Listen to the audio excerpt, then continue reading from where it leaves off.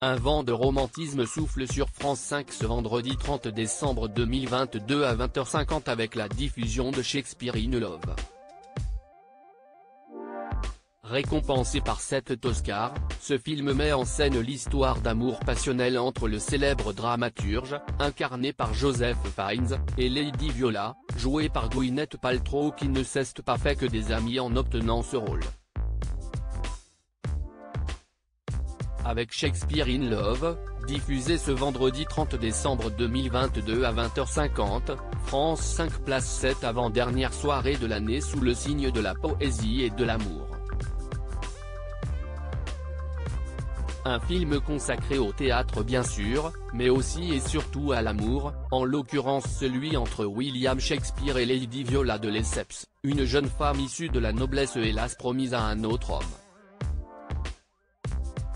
Un amour impossible qui n'est pas sans rappeler l'œuvre la plus célèbre du dramaturge anglais, Roméo et Juliette, notamment adaptée au cinéma avec Leonardo DiCaprio et Claire Danes dans les rôles titrés en comédie musicale avec Damien Sargue et Cecilia Cara. Dernièrement, CIST Disney Plus qui s'est inspiré de la pièce de théâtre pour proposer la série Rosaline, dont l'héroïne n'est autre que la cousine de Juliette. Un casting de rêve pour une film récompensé par cette Oscar outre sa magnifique histoire d'amour contrarié, Shakespeare in Love s'appuie sur un casting incroyable.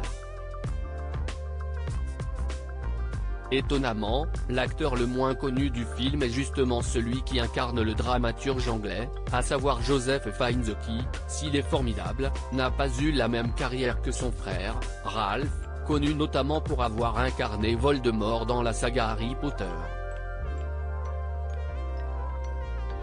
Le reste de la distribution, en revanche, est des plus prestigieux, de Colin Firth, qui s'est récemment métamorphosé pour incarner Michael Peterson dans la série The Staircase, à Ben Affleck, alias Monsieur Jennifer Lopez, en passant par Rupert Everett et Geoffrey Rush, le casting masculin est impressionnant.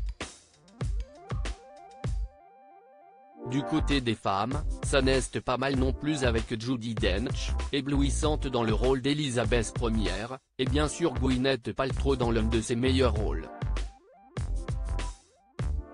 Pourtant, même si elle a décroché l'Oscar de la meilleure actrice pour sa prestation, Shakespeare in Love lui a valu quelques inimitiés de la part de certaines de ses consoeurs.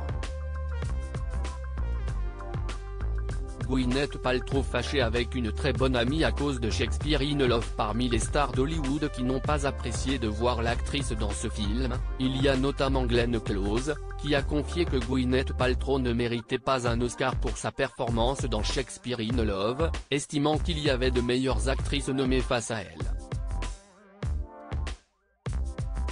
Mais celle qui a sans aucun doute été le plus contrariée par la présence de Gwyneth Paltrow au générique de Shakespeare in Love, CST Winona Ryder, qui a bien changé depuis ses débuts jusqu'à Stranger Jersey. L'ex-compagne de Johnny Depp a en effet affirmé que si chez elle que Gwyneth Paltrow a vu le scénario du film, qu'elle lui avait demandé si elle pouvait le lire, puis avait obtenu le rôle sans même lui dire qu'elle avait passé une audition. Pourtant très proches à l'époque, les deux amis ne se sont jamais reparlés depuis, même si Gwyneth Paltrow nie avec véhémence que les choses se sont passées ainsi. À lire aussi Gwyneth Paltrow pose en tenue d'Eve pour célébrer son 50e anniversaire.